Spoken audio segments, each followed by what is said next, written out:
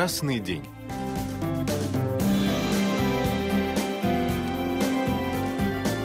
Благородное дело. Привет и добро пожаловать в Осло, Норвегию. Сегодня прекрасный день. Я нахожусь в лесах под Осло. Мне кажется, мы вдали от всякой цивилизации. Здесь совсем ничего нет, кроме деревьев и нетронутого снега. Можно сказать, что Осло, Андреас Вьеста, находится на периферии Европы, вдали от всего остального. Но этот город всегда имел международную ориентацию. Он выходит на фьорд и сближает все остальные части света.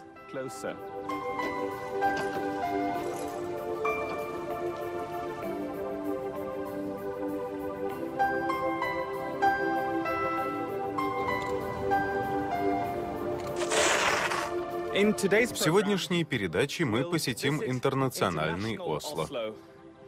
Я начну с того, что приготовлю экзотическое блюдо из курицы с корицей и шафраном. Затем мы посетим важнейшее международное мероприятие — церемонию вручения Нобелевской премии мира а также ресторан со скромным названием «Богатель», который является лучшим в стране. В красочном районе Грёнланд мы узнаем, как можно приготовить традиционные норвежские ингредиенты, такие как треска и картофель.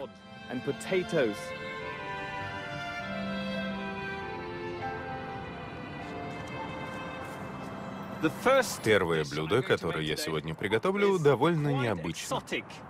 Особенно если вспомнить, что оно норвежское. Можно подумать, что это блюдо норвежский повар подсмотрел на отдыхе в Марокко. Это не так. Несколько лет назад я написал книгу о норвежской кухне. Во время своих исследований я обнаружил рецепт, который оказался самым древним. Это блюдо готовили еще в Средневековье, в XIV веке, курица с корицей и шафраном. Вот мой вариант.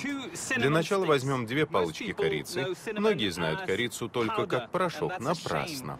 Когда корицу толкут, часть ее аромата улетучивается в первые несколько часов, не говоря уже о днях, неделях и месяцах. Лучше всего толочь корицу в ступке пестиком. Затем кладем шафран, эта специя стоит невероятно дорого, но при этом дает невероятно сильный эффект. Щепотка шафрана даст вам море цвета и море вкуса. Выливаем это в салатник. Добавим немного муки. Благодаря этому во время жарки на курице образуется замечательная корочка. У меня тут четыре куриных бедра. Вы можете взять любое растительное масло. Это рапсовое масло. Тщательно натираем. Специи покроют курицу со всех сторон, а ваши руки испачкаются в масле. Теперь эти куски нужно быстро обжарить. Да, чуть не забыл. Немного посолить. Мы не будем жарить курицу до готовности, просто немного подрумяним. Видите, какой цвет? Мне всегда казалось, что это блюдо немного напоминает марокканский стиль. А в Марокко такие блюда из курицы обычно сервируют с кускусом. Но я сомневаюсь, что про кускус в Норвегии узнали ранее 70-х, 80-х годов 20 века. А вот что сервировали с такой курицей в Средневековье. Ячмень. Его надо замочить в воде на 6 часов. В данном случае я взял куриный бульон. Добавлю сюда немного специй, но это будут другие специи. Лавровый лист и илициум. Самая красивая по форме приправа. Сегодня у многих с ноткой сладости ассоциируется именно ближневосточная кухня. Но если вы почитаете средневековые кулинарные книги, то обнаружите сладкие ингредиенты почти в каждом несладком блюде. Итак, пара больших горстей изюма.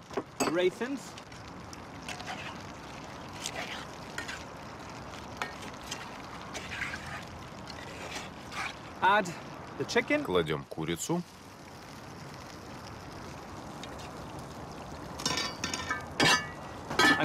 Мы будем запекать все это в духовке при температуре 175 градусов по Цельсию в течение двух часов.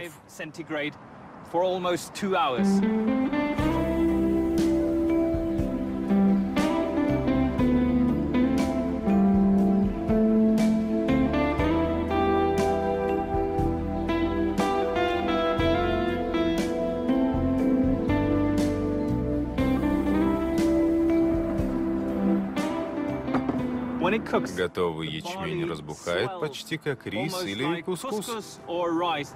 Можно сказать, это первый скандинавский кускус или ризотто. Вкусно пахнет.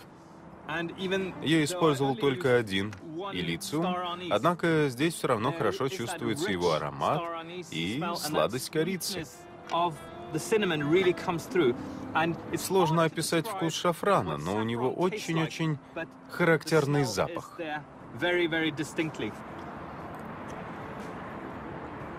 Думаю, это блюдо выдержало испытание временем. Его готовили в течение 800 лет. 800 years in the making.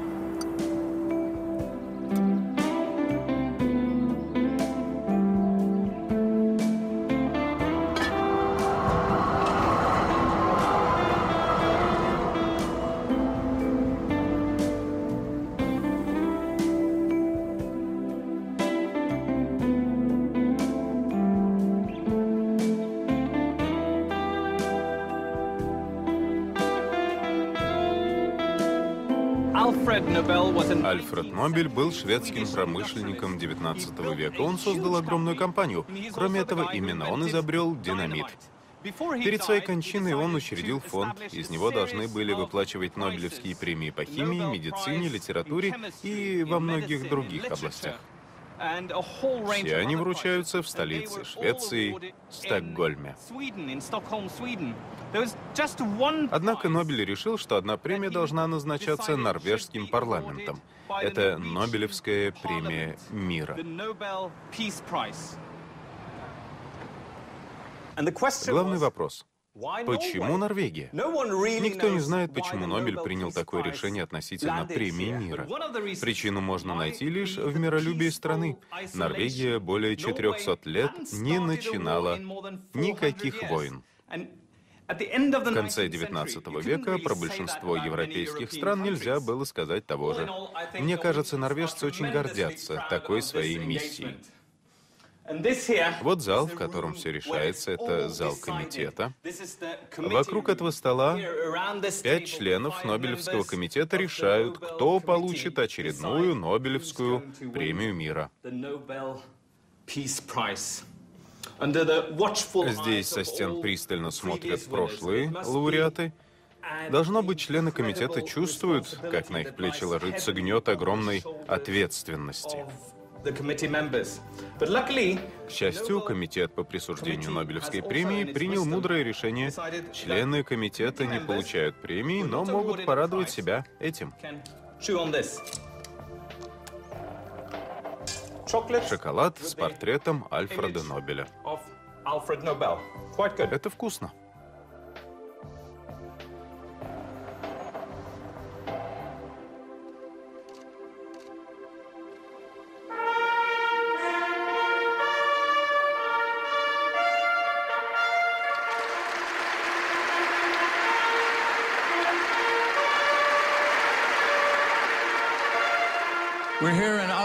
Мы находимся в Осло, Норвегия. Здесь с 1901 года самых достойных людей и организаций награждают легендарной Нобелевской премией. Когда объявляли лауреатов за последние годы, Комитет по присуждению Нобелевской премии решил, что премия мира за 2007 год будет разделена на две равные части — да, ее сломали пополам и отдали межправительственной группе экспертов по изменению климата ООН и Альберту Гору. Так были оценены их усилия по сбору и распространению знаний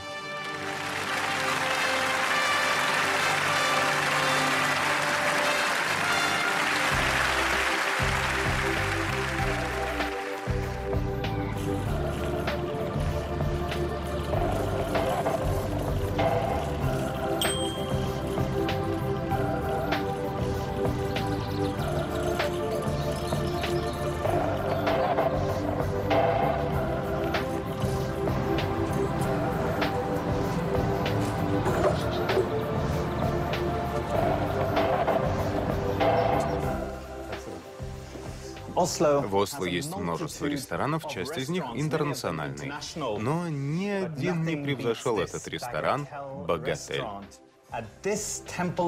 В этом храме кулинарного искусства шеф-повар Авин Хелстрём использует в основном норвежские продукты лучших в мире лососей, гребешков и норвежских омаров.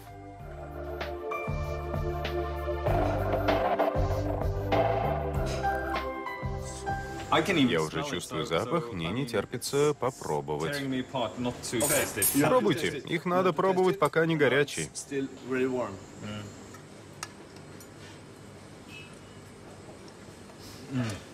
Неплохо, да? Этот лосось хорош. Текстура. Сказочно. Можно говорить о приготовленном и сыром лососе, но есть нечто среднее. Это называется совершенством происходит следующее. Вы нагреваете рыбу, омаров и гребешков до такой степени, чтобы белки начали сворачиваться. Данный процесс происходит внутри мяса. Не надо готовить до тех пор, пока продукт не утратит свою влагу и вкус. Только так вы получите лучшее из морепродуктов. Прекрасно. Это вкусно. И все очень просто, стоит только взять верные ингредиенты.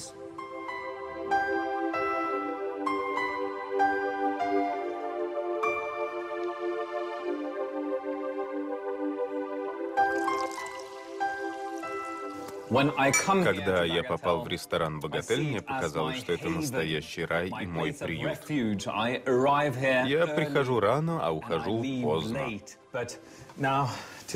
Но сегодня мне еще предстоит много сделать, много сказать. Придется уйти после одного блюда. Большое спасибо, шеф.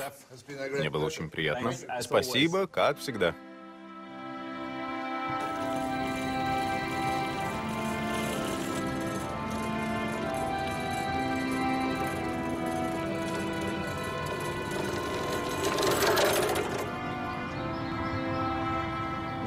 Это самая старая часть Осло. Вот средневековый парк, а это церковь, возведенная в начале 13 века.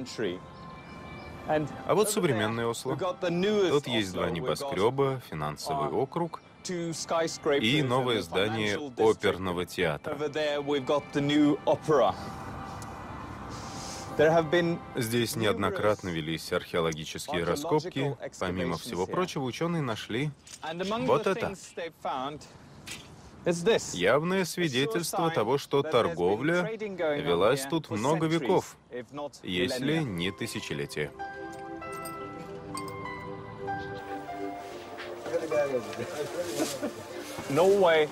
Норвегия всегда торговала с остальными странами.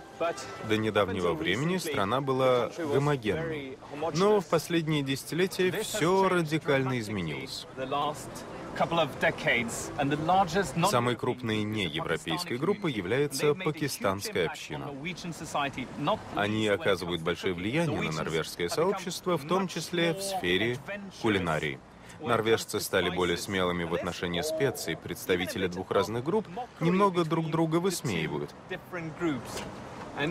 Пакистанцы называют норвежцев алу, что означает картофель. Это вызвано тем, что норвежцы склонны традиционно сервировать картофель за каждой трапезой. Мне не хочется опровергать это утверждение. Сегодня я приготовлю картофель. По моим весам, здесь около килограмма. Это чуть больше двух фунтов картофеля. Я приготовлю его с небольшим индийским или пакистанским секретом.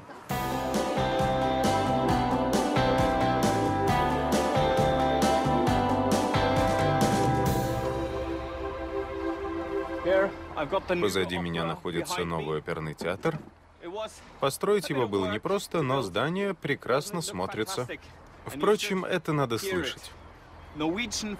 Как свидетельствует курица с шафраном и корицей по рецепту XIV века, в норвежской кухне всегда использовали специи.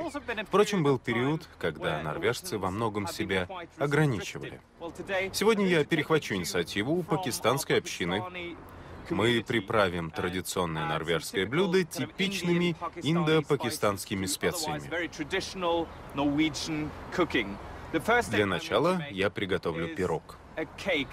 Традиционный рулет из свернутого бисквита. Он необычен тем, что это будет пирог карри. У меня есть желтый порошок карри.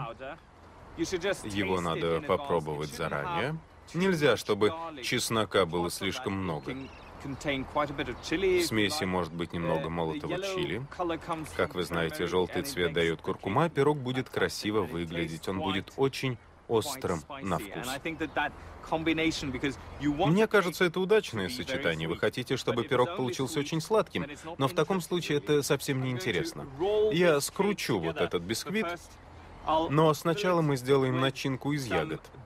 Здесь у меня сметана, смешанная со сливочным сыром.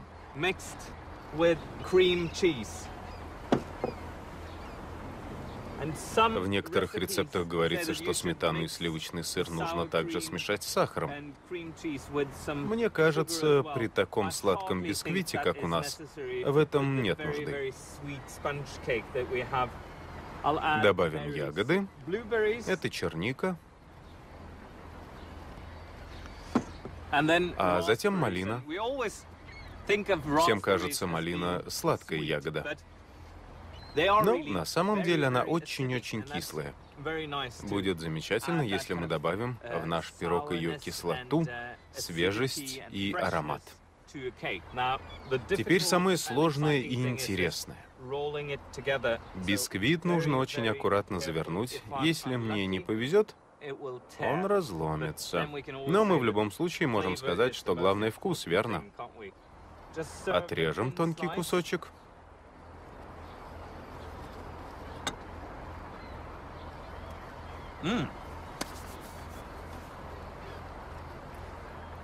Вкусно. Но вы же знаете, мужчина не может питаться одними пирогами. Ему нужна треска и картофель. Я начну с картофеля. Натрем.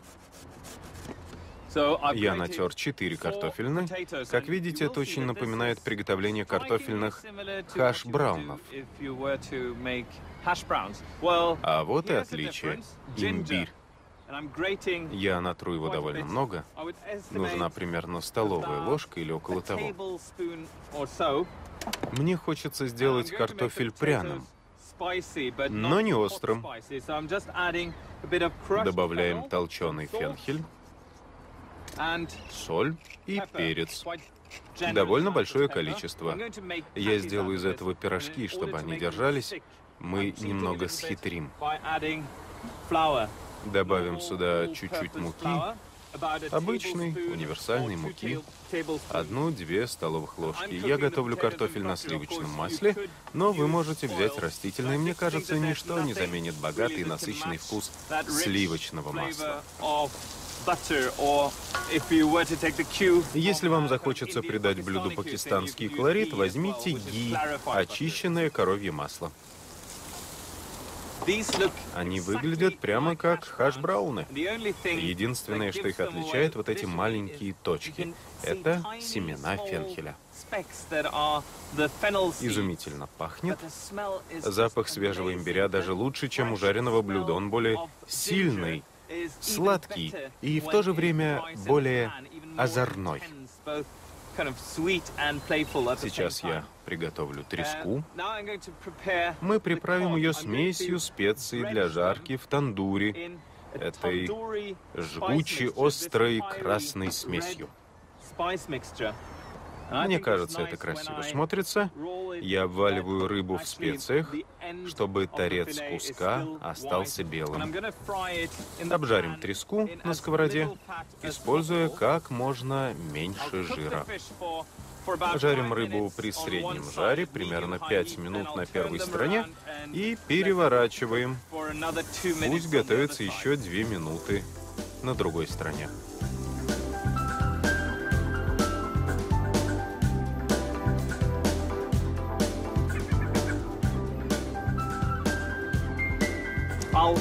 Я сервирую это с томатами, невероятно вкусными томатами. Вот оригинальный способ приготовления самых обычных томатов из магазина. Вас ждет взрыв разных вкусов. Вырезаем основание плодоножки, а сейчас я его слегка приправлю. Сегодня это 4 зубчика чеснока и илициум. Я использую весь плод илициума. Их надо вдавить прямо в томат. А теперь кубик сахара мы запечем томаты в духовке. На это уйдет довольно много времени. Начнем с температуры 175 градусов по Цельсию. Примерно через полтора часа снизим ее до 210 градусов по Фаренгейту. Это около 100 градусов по Цельсию. И оставим еще на 2 часа.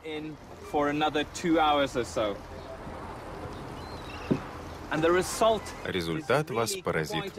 Эти сморщенные томаты — настоящие бомбы вкуса. Они очень сладкие и будут прекрасно сочетаться с солоноватой треской. Настоящая бомба. Думаю, мне не хватает только чего-то кислого, поэтому я взял кольца репчатого лука и замочил их в уксусе и много семян кориандра. Положим немного сбоку, как гарнир.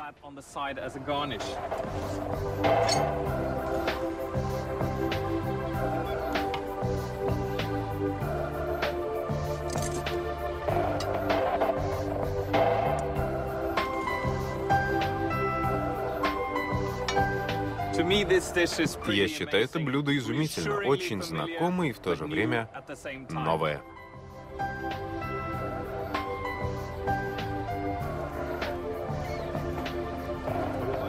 Как много. Привет. Привет. Ты не могла бы мне помочь?